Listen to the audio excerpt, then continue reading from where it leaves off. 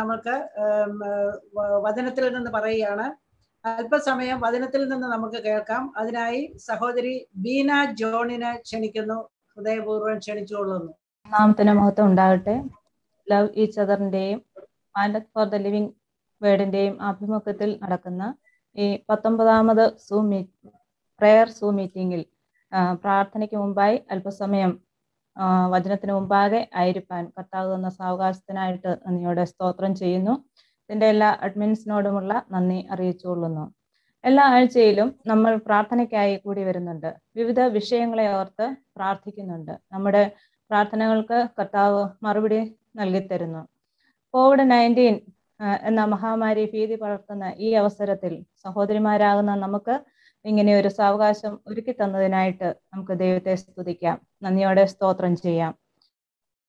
വലിയവനായ ദൈവം നമ്മെ ഓരോരുത്തരെയും കണ്ണിന്റെ കൃഷ്ണമണി പോലെ കാത്തു സൂക്ഷിക്കുന്ന ഒരു ബാധയും നിന്റെ കൂടാരത്തിന് അടുക്കുകയില്ല പകൽ പറക്കുന്ന അസ്ത്രത്തെയും രാത്രി പറക്കുന്ന മഹാമാരിയെയും നിനക്ക് പേടിപ്പാനില്ല. ഈ വചനം നമുക്ക് വളരെയധികം ഉറപ്പും ധൈര്യവും നൽകുന്നു. നമ്മളൊന്നിനെയും ഭയപ്പെടേണ്ട ആവശ്യമില്ല. എന്തെല്ലാം രോഗങ്ങൾ പ്രശ്നങ്ങൾ പ്രയാസങ്ങൾ വന്നാലും ഭാരപ്പെടേണ്ട ആവശ്യമില്ല. നമുക്ക് കർത്താവിന്റെ മുഖത്തോട്ട് നോക്കി ഇറങ്ങിയവർക്ക് ആർക്കും അവനൊരു നന്മയ്ക്കും കുറവ് വരുത്തിയിട്ടില്ല. വിളിച്ച നാൾ മുതൽ ഇന്ന് വരെയും ദൈവം വിശ്വസ്തനായി നമ്മളെ കാത്തു പരിപാലിക്കുന്നു. നിർത്തിയതാണെന്നെ നിന്നതല്ല ഞാനും എന്ന് പാട്ടുകാരനോട് ചേർന്ന് നമുക്കും പാടാം. പ്രാർത്ഥനയൊക്കെയായി കൂടി വന്നിരിക്കുമ്പോൾ അതിനായിട്ട് പ്രചോദനം നൽകുന്ന ഒരു ചിന്ത നിങ്ങളുമായിട്ട് പങ്കുവയ്ക്കുവാൻ ആഗ്രഹിക്കുന്നു. നമുക്ക് പ്രാർത്ഥനയ്ക്ക് മാതൃകയാക്കാൻ പറ്റുന്ന പ്രാർത്ഥനയിൽ പോരാടിയ ചില വ്യക്തികളെ കുറിച്ച് പറയുവാനായിട്ട് ആഗ്രഹിക്കുന്നു. ബൈബിൾ നോക്കിയാൽ പഴയ നിയമത്തിലും പുതിയ നിയമത്തിലും ആയി അനേക വ്യക്തികൾ പുരുഷന്മാരും സ്ത്രീകളുമായി അനേകരെ കാണുവാനായിട്ട് സാധിക്കും. നമ്മൾ ഏതൊരു കാര്യം തുടങ്ങുന്നതിന് മുമ്പും നമ്മൾ പ്രാർത്ഥിക്കാറുണ്ട്.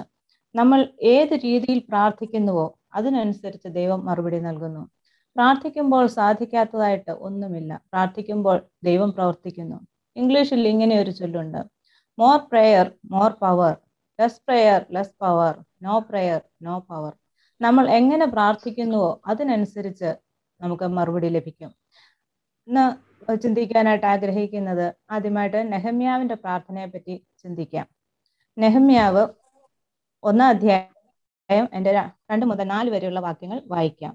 നെഹമ്യാവ് ഒന്നിന്റെ രണ്ട് മുതൽ നാല് വരെ. ഇരുപതാം ആണ്ടിൽ ക്രിസ്ലൈവ് മാസത്തിൽ ഞാൻ ശൂഷൻ രാജധാനിയിൽ ഇരിക്കുമ്പോൾ എന്റെ സഹോദരന്മാരിൽ ഒരുത്തനായ ഹനാനിയും യഹൂദയിൽ നിന്ന് ചില പുരുഷന്മാരും വന്നു.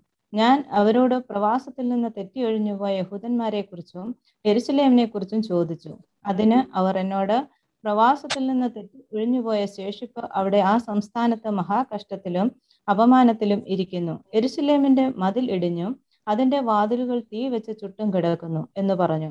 ഈ വർത്തമാനം കേട്ടപ്പോൾ ഞാൻ ഇരുന്ന് കരഞ്ഞു. കുറെ നാൾ ദുഃഖിച്ചും ഉപവസിച്ചും കൊണ്ട് സ്വർഗത്തിലെ ദൈവത്തോട് ഞാൻ പ്രാർത്ഥിച്ചു പറഞ്ഞു എന്തെന്നാൽ ഇത് നെഹ- നെഹമ്യാവിന്റെ പ്രാർത്ഥനയെ പറ്റിയാണ് അവിടെ കാണുവാനായിട്ട് സാധിക്കുന്നത്. നെഹമ്യാവ് പ്രാർത്ഥിച്ചു. ക്രിസ്ലേവ് മാസം തുടങ്ങി. നീസാൻ മാസം വരെ നാല് മാസക്കാലം നെഹമ്യാവ് പ്രാർത്ഥിച്ചു. ഉപവസിച്ച് കരഞ്ഞ് പ്രാർത്ഥിക്കുന്നതായിട്ട് നമുക്ക് കാണാം. ദൈവം അതിന് മറുപടി കൊടുത്തുവെന്ന് രണ്ടാം അധ്യായത്തിൽ നമുക്ക് കാണാൻ സാധിക്കും. നെഹമ്യാവ് സാധാരണക്കാരനായ ഒരാളായിരുന്നില്ല. ശൂഷൻ രാജധാനിയിൽ അർത്ഥശഷ്ട രാജാവിന്റെ പാനപാത്ര വാഹകനായിരുന്നു നെഹമ്യാവ്. വളരെ ഉത്തരവാദിത്വമുള്ള ഒരു ജോലിയായിരുന്നു നെഹമ്യാവിന്റെത് നെഹമ്യാവ് വളരെ വിശ്വസ്തനും അതുപോലെ ആത്മീകനുമായ ഒരു വ്യക്തിയായിരുന്നു എന്ന് നമുക്കിവിടെ നിന്നും കാണുവാൻ സാധിക്കും. നെഹമ്യാവ് ഒരു പ്രവാസിയായിട്ടാണ് ശൂഷൻ രാജധാനിയിൽ താമസിച്ചിരുന്നത്. വളരെ വിശ്വസ്തനാണെങ്കിൽ മാത്രമേ ഈ ജോലി ചെയ്യുവാനായിട്ട് സാധിക്കുകയുള്ളൂ. ഈ അതുല്യമായ പദവി ലഭിച്ചതിൽ നിന്ന് നെഹമ്യാവ് എത്രമാത്രം വിശ്വസ്തൻ ആയിരുന്നുവെന്ന് മനസ്സിലാക്കാം. ഉന്നതമായ പദവിയിലിരിക്കുമ്പോഴും വിശ്വസ്തനായിരിക്കുക എന്നത് എത്രയോ അഭികാമ്യമായ കാര്യമാണ്. ശൂഷൻ രാജധാനിയിലിരിക്കുന്ന നെഹമ്യാവിന് യഹൂദയിൽ നിന്നും വന്ന ചില ആളുകൾ അവിടുത്തെ ശോചി പറ്റി പറയുകയുണ്ടായി. വാക്തത്ത് നാട്ടിൽ പാർക്കുന്ന ദൈവജനം അനുഭവിക്കുന്ന കഷ്ടതകളെ കുറിച്ച് എരുസലേം നഗരത്തിന്റെ പരിതാപകരമായ അവസ്ഥയെക്കുറിച്ചും നെഹമ്യാവ് മനസ്സിലാക്കി. യഹൂദയിലെ ശേഷിപ്പിനോടുള്ള ബന്ധത്തിൽ വലിയ ആത്മഭാരം നെഹമ്യാവിനുണ്ടായിരുന്നു.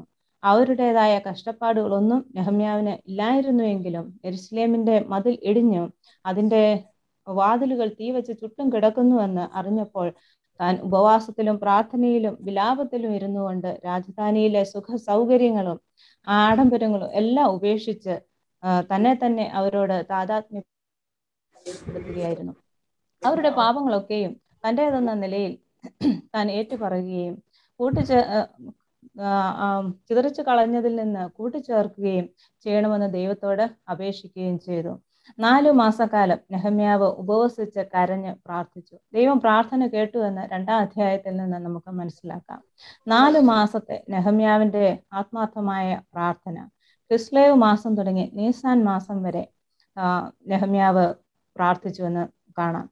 എരുസലേമിന്റെ മതിൽ പണിയുവാനുള്ള തന്റെ അഭ്യർത്ഥന രാജാവ് സാധിച്ചു കൊടുക്കുന്നു. നെഹമ്യാവിന്റെ പ്രാർത്ഥനയും ദൈവാശ്രയവും വ്യർത്ഥമായില്ല. താൻ അപേക്ഷിച്ചത് രാജാവ് അവന് അനുവദിച്ചു നൽകി. തന്നെയുമല്ല യഹൂദയിലെ ദേശാധിപതിയായി നിയമിക്കുകയും ചെയ്തു എന്ന് അഞ്ചാം അധ്യായത്തിൽ നമുക്ക് കാണാം. തകർന്നുപോയ മതിൽ പുതുക്കി പണിയുക എന്നത് വളരെ ശ്രമകരവും അത്യധ്വാനവും നിറഞ്ഞ കാര്യമാണ്. എന്നാൽ നെഹമ്യാവ് യഹൂദ നേതാക്കന്മാരെ കൂട്ടിവരുത്തി എരുസലേമിന്റെ മതിൽ പണിയുവാനുള്ള പ്രോത്സാഹനം നൽകി. അവർ അന്യോന്യം ധൈര്യപ്പെടുത്തുന്നതായിട്ട് കാണാം. ഐക്യതയോടെ പണിയിൽ ഏർപ്പെട്ടു. ശത്രുവിന്റെ വലിയ പോരാട്ടം ഉണ്ടായിരുന്നുവെങ്കിലും മതിലിന്റെ പണി ഭംഗിയായി പൂർത്തീകരിക്കുവാൻ നെഹമ്യാവിന് കഴിഞ്ഞു. നെഹമ്യാവിനെ പോലെ നാമും ഏക മനസ്സോടെ ഒരുമനപ്പെട്ട് പ്രാർത്ഥിക്കുമ്പോൾ ദൈവം മറുപടി നൽകുന്നതായിട്ട് കാണുവാനായിട്ട് സാധിക്കും. നെഹമ്യാവിനെ പോലെ പ്രാർത്ഥിച്ച മറ്റനേക വ്യക്തികൾ ഉണ്ട്. രണ്ടാമതായി നമുക്ക് എസ്തേറിനെ കുറിച്ച് നോക്കാം. എസ്തേറിനെ കുറിച്ച് നോക്കിയാൽ എസ്തേറും രാജധാനിയിൽ ഇരുന്നവളാണ്. എന്നാൽ യഹൂദന്മാർക്ക് നേരെ ഹാമാൻ കരുക്കൾ നീക്കി അവരെ നശിപ്പിക്കുന്നുവെന്ന് നശിപ്പിക്കുവാനായിട്ട് തീരുമാനിച്ചു. ആ വിവരം എസ്തർ അറിഞ്ഞപ്പോൾ രാജകൊട്ടാരത്തിൽ സുഖ സൗകര്യങ്ങളോടുകൂടെ ഇരുന്ന എസ്തേർ രട്ടുടുത്ത് ഉപവസിച്ച് പ്രാർത്ഥിക്കുന്നതായിട്ട് കാണാം. യഹൂദന്മാരെ ആബാലവൃദ്ധം നശിപ്പിക്കാനുള്ള രാജകൽപ്പന അറിഞ്ഞപ്പോൾ എസ്തേറിന്റെ ചിറ്റപ്പനായ മോത്തേക്കായി വളരെയധികം വിഷമത്തിലായി. സ്വജനത്തിന്റെ നാശത്തെ ഓർത്ത് അവൻ കൈപ്പോടെ കരഞ്ഞു. എസ്തർ നാലിന്റെ പതിനാറിൽ നാം ഇങ്ങനെ വായിക്കുന്നു.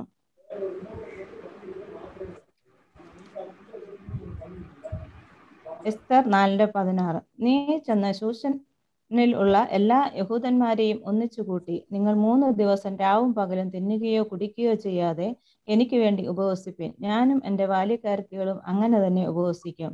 പിന്നെ ഞാൻ നിയമപ്രകാരം അല്ലെങ്കിലും രാജാവിന്റെ അടുക്കൽ ചെല്ലും. ഞാൻ നശിക്കുന്നു എങ്കിൽ നശിക്കട്ടെ.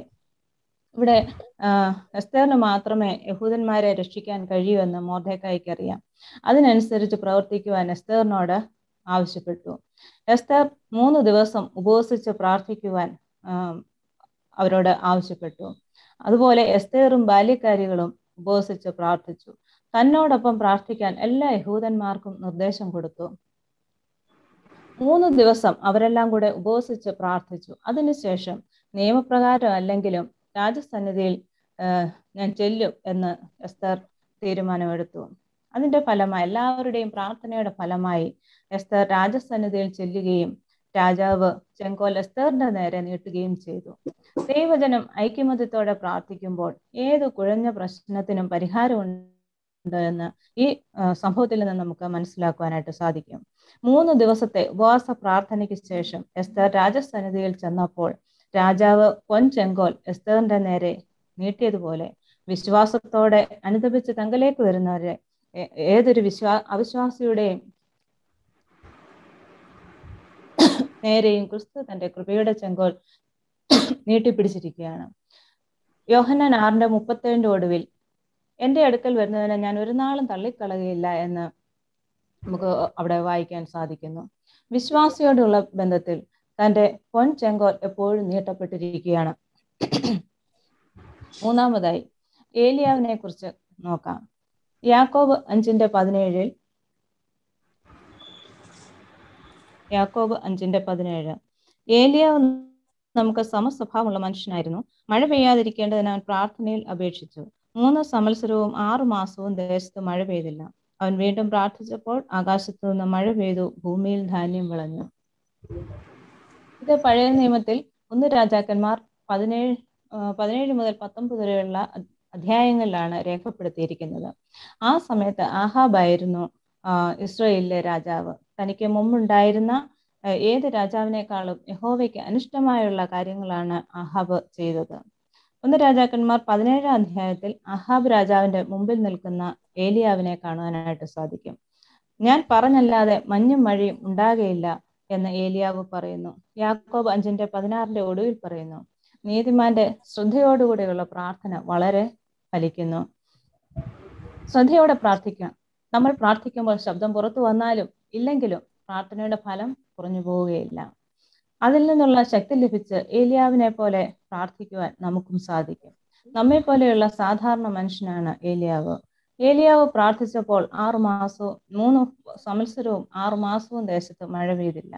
എന്നാൽ പിന്നീട് പ്രാർത്ഥിച്ചപ്പോൾ ദേശത്ത് മഴ പെയ്തു ഭൂമിയിൽ ധാന്യം വിളഞ്ഞു എന്ന് കാണുവാനായിട്ട് സാധിക്കുന്നു. ദേശത്ത് മഴ പെയ്യാതെ ഇരുന്നതിന്റെ പ്രധാന കാരണം ജനത്തിന്റെ പാപമായിരുന്നു. ഒന്ന് രാജാക്കന്മാർ പതിനേഴ് മുതൽ പത്തൊമ്പത് വരെയുള്ള അധ്യായങ്ങളിലാണ് ഏലിയാവ് പ്രാർത്ഥിച്ച കാര്യങ്ങൾ പറഞ്ഞിരിക്കുന്നത്. ഇസ്രയേൽ രാജാവായ ആഹാബ് തന്റെ ഭാര്യയായ ഇസബൽ മുഖാന്തരം ബാൽ ആരാധനയിൽ മുഴുകുകയും അവിടെയുള്ള ദൈവജനത്തെ ബാലിന്റെ ആരാധനയിലേക്ക് കൊണ്ടുപോവുകയും ചെയ്തു. അവരുടെ പാപത്തിന്റെ ഫലമായാണ് ദേശത്ത് മഴ പെയ്യാതെ ഇരുന്നത്. മൂന്നര വർഷക്കാലം അവിടെ മഴ പെയ്തില്ല. ഈ സംഭവത്തോടനു അനുബന്ധിച്ച് ആഹാബ് സോറി ഏലിയാവും ബാലിന്റെ പ്രവാചകന്മാരും കർമ്മേൽ പർവതത്തിൽ ഒന്നിച്ചുകൂടി. ആകാശത്ത് നിന്ന് തീ ഇറങ്ങി യാഗവും യാഗവസ്തുവും അതിന് ചുറ്റും ഒഴിച്ച വെള്ളവും എല്ലാം ദഹിപ്പിച്ചു കളഞ്ഞു. അപ്പോൾ ജനത്തിന് ഒരു കാര്യം ബോധ്യമായി. ഏലിയാവിന്റെ ദൈവമാണ് ജീവനുള്ള ദൈവം. ആ അവൻ അവർ ദൈവത്തിങ്കിലേക്ക് മടങ്ങി വരുവാൻ അത് മുഖാന്തരം ഇടയായിട്ട് തീർന്നു. യാഗത്തിന് ശേഷം ഏലിയാവ് വീണ്ടും പ്രാർത്ഥിച്ചു. അപ്പോൾ മഴ പെയ്തു. ഏലിയാവിന്റെ പ്രാർത്ഥന പാപം ചെയ്ത് ദൈവത്തിങ്കിൽ നിന്ന് മാറിപ്പോയവർക്ക് വേണ്ടി പ്രാർത്ഥിക്കുവാൻ നമുക്ക് പ്രചോദനമേകുന്നവയാണ്. നീതിമാന്റെ ശ്രദ്ധയോടെയുള്ള പ്രാർത്ഥന വളരെ ഫലിക്കുന്നു. രക്ഷിക്കപ്പെട്ട ഒരു വ്യക്തി പിന്മാറ്റാവസ്ഥയിൽ നിന്നും തിരിഞ്ഞു വരുമ്പോൾ ദൈവത്തോട് നിരപ്പിന്റെ അനുഭവത്തിലെത്തുമ്പോൾ ഹൃദയത്തിൽ നിന്നുണ്ടാകുന്ന പ്രാർത്ഥനയാണത്. അത് വളരെ ഫലപ്രദമാണ്. അത് ഫലിക്കും. ഏലിയാവ് സാധാരണക്കാരനായ ഒരു മനുഷ്യൻ ആണ്. ഒരിക്കലും മറ്റൊരു സൃഷ്ടിയല്ല. ഏതൊരു മനുഷ്യനെയും പോലെ ഏറെ ബലഹീനതകളുള്ള ഒരു മനുഷ്യനായിരുന്നു. വെറും ഒരു സ്ത്രീയായ ഈസബേലിന്റെ മുന്നിൽ നിന്ന് ഓടി ഒളിച്ച മനുഷ്യനാണ് ഏലിയാവ്. ഇസ്രയേലിന്റെ ഇസ്രയേലിലെ ബാലിന്റെ നാനൂറ്റമ്പത് പ്രവാചകന്മാരെ വെട്ടിക്കൊല്ലുവാൻ ധൈര്യം കാണിച്ച ഏലിയാവ്. ഈസബേലിന്റെ ഭീഷണിക്ക് മുമ്പിൽ ഭയപ്പെട്ട് ഓടിപ്പോയി ചൂരച്ചുടിയുടെ കീഴിൽ കിടന്ന് മരിക്കുവാൻ ആഗ്രഹിച്ച ഏലിയാവ്. അതിനാലാണ് ഏലിയാവ് നമുക്ക് സമസ്വഭാവമുള്ള മനുഷ്യൻ എന്ന് പറയുന്നത്. പ്രാർത്ഥിക്കുന്നതിനുള്ള വിശ്വാസം അവനെ ഏറ്റവും ശക്തിപ്പെടുത്തിയത് കൊണ്ടാണ് അസാധ്യമായ കാര്യങ്ങളെ എലിയാവ് സാധ്യമാക്കി തീർത്തത്. ഏലിയാവിനെ പോലെ നമുക്കും വിശ്വാസത്തോടെ ശ്രദ്ധയോടെ പ്രാർത്ഥിക്കാം. നാം പ്രാർത്ഥിക്കുമ്പോൾ തീർച്ചയായും ദൈവം അതിന് മറുപടി നൽകും. സ്തോത്രം. നാലാമതായി ഏതൊരു ദൗത്യവും ആരംഭിക്കുന്നതിന് മുമ്പ് പ്രാർത്ഥിക്കുന്ന ഒരു വ്യക്തിയായിരുന്നു കർത്താവായ യേശു ക്രിസ്തു നമ്മുടെ ഏറ്റവും നല്ല മാതൃകയാണ് കർത്താവായ യേശു ക്രിസ്തു ഓരോ കാര്യവും ആരംഭിക്കുന്നതിന് മുമ്പ് പ്രാർത്ഥിക്കുന്ന കർത്താവായ യേശു ക്രിസ്തുവിനെ നമുക്ക് കാണാം. ലൂക്കോസ് നാലാം അധ്യായത്തിൽ തന്റെ പരസ്യ ശുശ്രൂഷ ആരംഭിക്കുന്നതിന് മുമ്പ് ഏലിയാവ് സോറി യേശുക്രിസ്തു നാൽപ്പത് രാവ് നാൽപ്പത് പകലും ഉപവസിച്ച് പ്രാർത്ഥിക്കുന്നതായിട്ട് കാണാം. മുപ്പതാം വയസ്സിലാണ് യേശു പരസ്യ ശുശ്രൂഷയ്ക്ക് ഇറങ്ങുന്നത്. അതുവരെയും മാതാപിതാക്കൾക്ക് കീഴ്പ്പെട്ട് ജീവിച്ചു എന്ന് കാണാം. യേശു എപ്പോഴും ആത്മപൂർണനായിരുന്നു. പാപം ഒഴികെ സകലത്തിനും നമ്മെപ്പോലെ ഉള്ളവനായിരുന്നു. ഒരു ചെറിയ നോട്ടത്തിൽ അല്ലെങ്കിൽ ഒരു ചെറിയ വാക്കിൽ നാം വീണു പോകാറുണ്ട്. എന്നാൽ ദൈവത്തിന്റെ പുത്രനായ ക്രിസ്തു പാപം ചെയ്തിട്ടില്ല. ലൂക്കോസ് നാലിന്റെ ഒന്ന്. യേശു പരിശുദ്ധാത്മാവ് നിറഞ്ഞവനായി യോർദാൻ വിട്ടു മടങ്ങി. ആത്മാവ് അവനെ മരുഭൂമിയിലേക്ക് നടത്തി. പിശാജ് അവനെ നാൽപ്പത് ദിവസം പരീക്ഷിച്ചു കൊണ്ടിരുന്നു എന്നാൽ ഈ ദിവസങ്ങളിൽ യേശു ഒന്നും ഭക്ഷിച്ചിരുന്നില്ല. അവിടെ ഉപവസിച്ചാണ് യേശു നാൽപ്പത് രാവും നാൽപ്പത് പകലും അവിടെ പ്രാർത്ഥിച്ചു കൊണ്ടിരുന്നത് നാലിന്റെ പതിമൂന്നിൽ ലൂക്കോസ് നാലിന്റെ പതിമൂന്നിൽ. അങ്ങനെ പിശാജ് സകല പരീക്ഷയും തികച്ച ശേഷം കുറെ കാലത്തേക്ക് അവനെ വിട്ടുമാറി അങ്ങനെ യേശു ഗലിയിലേക്ക് മടങ്ങിച്ചെന്നു. അവിടെ തന്റെ പരസ്യ ശുശ്രൂഷ ആരംഭിച്ചു. ലൂക്കോസ് ആറിന്റെ പന്ത്രണ്ട് മുതലുള്ള വാക്യങ്ങൾ നോക്കിയാൽ യേശു ശിഷ്യന്മാരെ തിരഞ്ഞെടുക്കുന്നതിന് മുമ്പ് മലയിൽ പോയി പ്രാർത്ഥിച്ചുവെന്ന് രാത്രി മുഴുവൻ പ്രാർത്ഥിച്ചുവെന്ന് കാണുവാനായിട്ട് സാധിക്കും. വിശാലമായ ശിഷ്യഗണത്തിൽ നിന്ന് പ്രത്യേകമായി പന്ത്രണ്ട് പേരെയാണ് യേശു തിരഞ്ഞെടുത്തത്. ഇത് ലൂക്കോസിന്റെ സുവിശേഷത്തിൽ മാത്രം ആയിട്ട് നമുക്ക് കാണാനായിട്ട് സാധിക്കും. ശിഷ്യന്മാരെ തിരഞ്ഞെടുത്തപ്പോൾ അവർ വലിയ കഴിവൊന്നും ഉള്ളവരായിരുന്നില്ല. എന്നാൽ കർത്താവ് അവരെ വിളിച്ചു. നമ്മളെയും കർത്താവ് വിളിച്ചു. നമ്മുടെ കഴിവോ പ്രതാപമോ ഒന്നും നോക്കിയിട്ടല്ല നമ്മളെയും വിളിച്ചത്. കഴിവിനേക്കാൾ ഏറെ ഗുണമാണ് കർത്താവ് നോക്കിയത്. ബുദ്ധിമുട്ടുകൾ സഹിക്കുവാൻ പ്രാപ്തിയുള്ളവരെയാണ് കർത്താവ് വിളിച്ചത്. അവരെയാണ് കർത്താവിന് ആവശ്യം.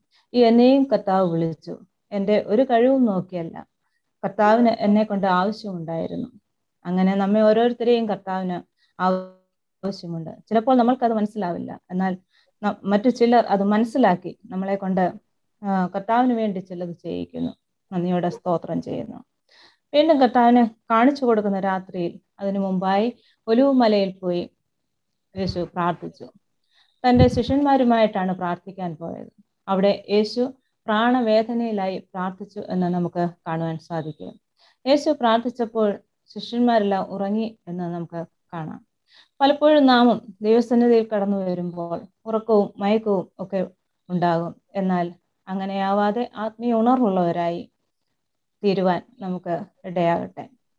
പ്രാർത്ഥിക്കുന്നതിന് ഉത്തമ ഉദാഹരണമാണ് കർത്താവായ യേശുക്രിസ്തു. ഈ യേശുക്രിസ്തുവിന്റെ മാതൃ യേശുക്രിസ്തുവിനെ നമുക്ക് മാതൃകയാക്കാം. യേശു പ്രാർത്ഥിക്കുന്നതിന് മുമ്പ് യേശു പ്രാർത്ഥിക്കുന്നതിന് പ്രത്യേകിച്ച് സമയം ഒന്നുമില്ല. രാത്രി യാമങ്ങളിൽ ഒക്കെ യേശു മലയിൽ പോയി പ്രാർത്ഥിക്കുന്നതായിട്ട് നമുക്ക് കാണാം. ഈ കർത്താവിന്റെ കാലടികൾ നമുക്കും പിന്തുടരാം. കാലത്തും ഉച്ചയ്ക്കും സന്ധ്യയ്ക്കേത് നേരത്തും സങ്കടം ബോധിപ്പിച്ച് ഞാൻ കരയും എന്ന് പാട്ടുകാരൻ ഇങ്ങനെ പാടിയിരിക്കുന്നു. ഇന്ന് നമ്മൾ കൂടി വന്നിരിക്കുന്നത് പ്രാർത്ഥിക്കുവാനാണല്ലോ. വിവിധ വിഷയങ്ങൾ ദൈവസന്നിധിയിൽ സമർപ്പിച്ച് പ്രാർത്ഥിക്കാം. കഴിഞ്ഞ നാളുകളിൽ നാം അനേക വിഷയങ്ങൾക്ക് വേണ്ടി പ്രാർത്ഥിച്ചിട്ടുണ്ട്. നമുക്ക് അതിനൊക്കെയും മറുപടി ലഭിച്ചിട്ടുണ്ട്. അതിനൊക്കെ നമുക്ക് നന്ദി പറയാം. ദൈവത്തിന് സ്തോത്രം ചെയ്യാം. നാം പ്രാർത്ഥിക്കുമ്പോൾ ദൈവം പ്രവർത്തിക്കുന്നു. കർത്താവിന്റെ നല്ല ദാസിമാരായിട്ട് ശോഭിക്കുവാൻ ഇടയായിട്ട് തീരട്ടെ. നെഹമ്യാവിനെ പോലെ എസ്തറിനെ പോലെ ഏലിയാവിനെ പോലെ കർത്താവായ യേശു ക്രിസ്തുവിനെ പോലെ അങ്ങനെയൊക്കെ പ്രാർത്ഥിക്കുവാൻ നമുക്ക് ഇടയായിട്ട് തീരട്ടെ. കേട്ട വചനം അതിന് നമ്മളെ സഹായിക്കട്ടെ എന്ന് പ്രാർത്ഥിച്ചുകൊണ്ട് എനിക്ക് ഇങ്ങനെ ഒരു അവസരം ഒരുക്കി തന്ന ലവീച്ചറിന്റെയും പാൻഡത് ഫോർ ദ ലിവിങ് വേർഡിന്റെയും എല്ലാ അഡ്മിൻസിനോടും എനിക്ക് വേണ്ടി പ്രാർത്ഥിച്ച എല്ലാ ഗ്രൂപ്പ് മെമ്പേഴ്സിനോടുമുള്ള നന്ദി അറിയിച്ചുകൊള്ളുന്നു.